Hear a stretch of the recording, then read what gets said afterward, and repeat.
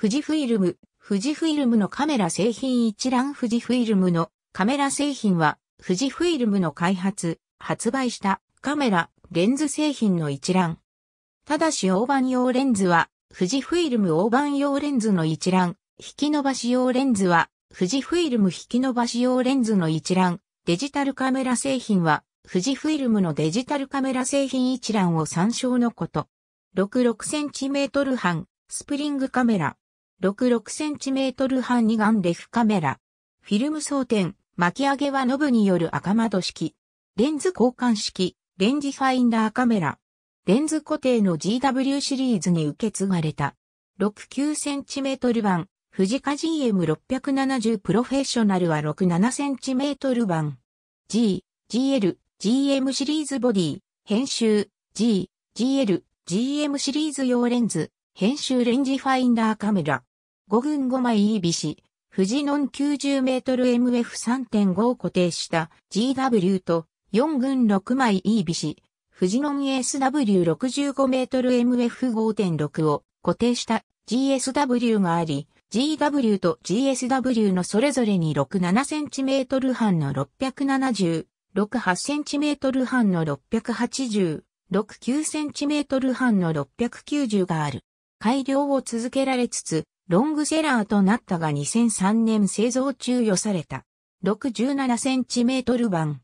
120フィルムを使用し4枚取りまたは220フィルムを使用し8枚取り。GX617 用レンズ。編集モータードライブを内蔵した6 8トル半一眼レフカメラ。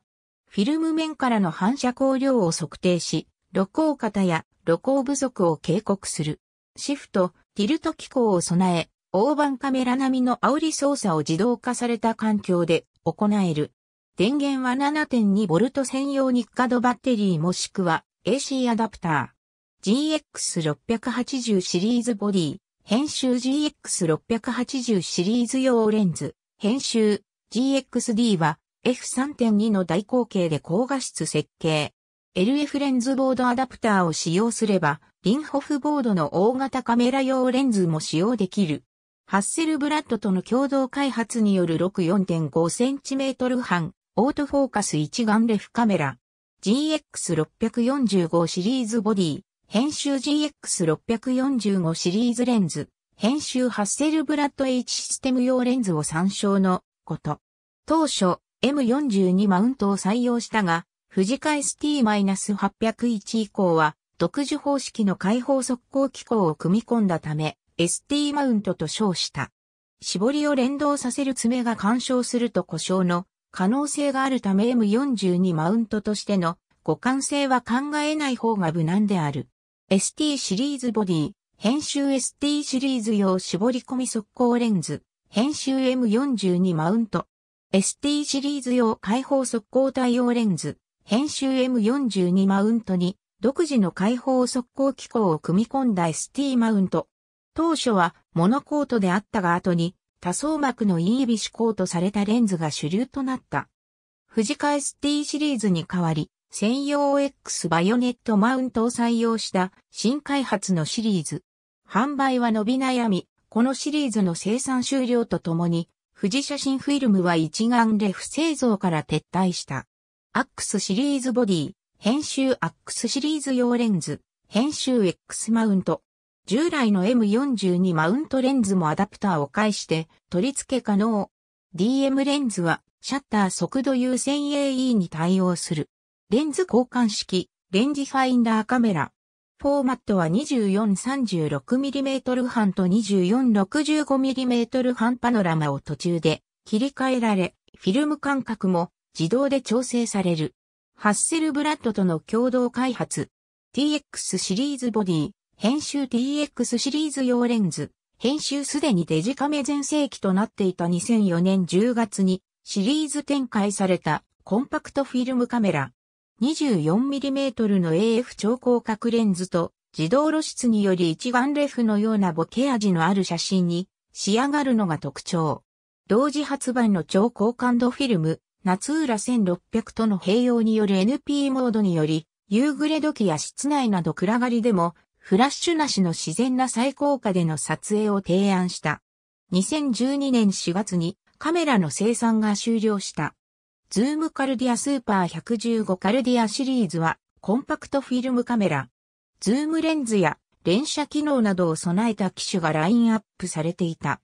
このカルディアシリーズよりブランド名がフジカからフジに変更になった。クラッセシリーズは高級コンパクトフィルムカメラ。ズームレンズを搭載したコンパクトフィルムカメラ。バックライト付きの大型液晶パネルや簡単にフィルムを入れることができる新 DL システムが特徴。耐水性や防塵性に優れたシリーズでデジタルカメラのビッグジョブシリーズに引き継がれた。24-18mm 版。1959年発売のオリンパスペン以来各メーカーともで揃った後の登場であった。TBD1994 年以降に展開したスマートショットシリーズ。ピント合わせ不要で安価で気軽に撮影できた。スマートショットシリーズは、ウツシルンデスをベースに、裏蓋などほぼ最低限の追加がされた機構で、固定焦点、ダイヤルによる巻き上げ、炭酸アルカリ乾電池1本で、フラッシュ充電、ISO 感度切り替えもなく、通常の撮影には100から400程度のフィルムでのラティテュードで対応としている。クリアショットシリーズは同様にウツシルンデスをベースとしながらもオートフォーカスや隠し自動化など高機能版。24-24mm 半の16枚取り。APS フィルムを使用するカメラ。エピオン 300Z 前面エピオン 300Z 背面エピオンは1996年4月よりシリーズ展開開始。MRC はフィルム途中交換機能搭載を3桁シリーズの Z はズームレンズ搭載を表している。APS コンパクトカメラシリーズ。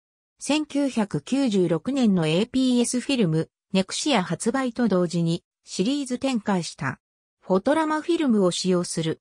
フォトラマ800フィルムを使用する。ミスターハンディエースを除き、フォトラマ800フィルムを使用する。フォトラマエースフィルムを使用する。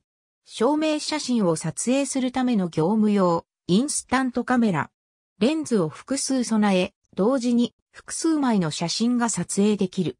撮ったその場でカードサイズの写真を見られる。インスタントカメラとしては小柄なボディで、フラッシュ充電中などが一目でわかる、マルチイルミネーションやセルフタイマーなどが搭載された機種もある。最盛期には、チェキと同じフィルムを使用する小型プリンター NP-1 が発売され、シリーズの主力商品となった。詳細は、インスタントカメラチェキを参照レンズや、シャッターなどの簡易的なカメラ機能を備えた、レンズ付きフィルムのパイオニア。使い捨てカメラと呼ばれることがあるが、現在では使用後の製品のリユースリサイクル体制が整備されている。登場初期には110フィルムが使われたが、現在は135フィルムを使用するモデルと、アドバンストフォートシステムを使用するモデルの2種類がある。詳細は、ウツシルンデスを参照ブランド名は、富士カ。シングル8には、サイレントカメラとサウンドカメラがある。撮影コマ、速度切り替え愛知コマ撮影など、機種により機能の違いがある。コンパクトフラッシュ TM カードアダプター DPC、CF。ありがとうございます。